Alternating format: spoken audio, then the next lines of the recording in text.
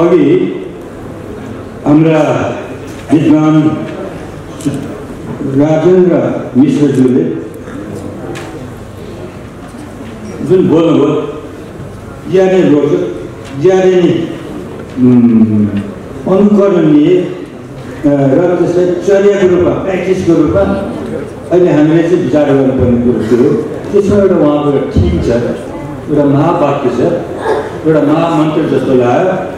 त्यो हो सा संस्कृति या संस्कृति सा विश्वबाट यो ज्यादै यो त्यति बेला यो अहिलेको आजको जुन यो चलिरहेको टी दिवसीय यसको निम्ति यो थिम चाहिँ हामीले समाप्त पर्ने जस्तो लाग्यो मुख्य कुरो यो। या संस्कृति सा विश्वबाट त्यो संस्कृति हो। जुन कि हिमत खण्डबाट हिम संस्कृतिको रूपमा त्यो प्रस्फुटन भएको छ र हाम्रा महर्षिहरूले तपस्वीहरूले त्यहाँ मेहनत गरेर त्यहाँ त्यो गरेर जुन वैदिक विचारहरू प्रचलनमा ल्याए तीमध्येको एसटिएमले हिमबन्तु मयिको lofty Himalayan peaks, they declare the glory of the eternal spirit.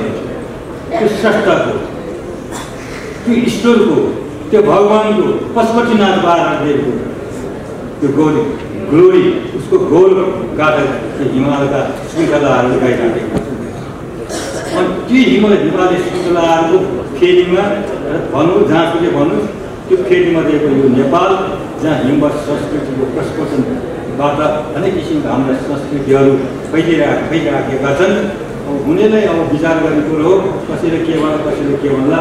तर हाम्रा पुर्खाहरूले त उसको हिमालयको गौरव गाथा गाएकै हो। अघि पनि मैले एक ठाउँ भनेको थिएँ रवीन्द्रनाथ ट्यागोरले पनि तपाईँको तपोभूमिको रूपमा दिन्छ। कालिदासले पनि तपोभूमिको रूपमा दिन्छ। साराले हिमालय लिइराखेको छ तपाईँको। अनि हाम्रा यो महर्षि याज्ञवल्क्य यिनीहरूले पनि तपाईँको घर कहाँ चाहिँ के छ भन्दाखेरि हिमालको फेरिमा जहाँ कृष्ण सारहरू सर्छन् त्यही हो मेरो त्यही हो मेरो भन्छ त्यस्तो भूमिबाट जुन एउटा संस्कृतिको प्रस्फुटन भयो त्यो संस्कृति नै विश्वबाट संसारभरिमा विचार गर्ने गर्ने हो भने हाम्रो अग्र पङ्क्तिमा हाम्रो चाहिँ भारत नेपालको बिचमा रहेको जुन एउटा सारा सम्पत्ति र संस्कृति त्यसको चाहिँ गुणानुगुण जति वर्णन गरेर खोजिनु हुन्छ सायद यो त्रिदिवसीय सम्मेलनले व्यापक रूपमा अ, विश्वको अगाडि राख्नुपर्ने छ भन्ने कुरामा म ढुक्क छु। भनेर आजको पहिलो सेसन यही समाप्तिको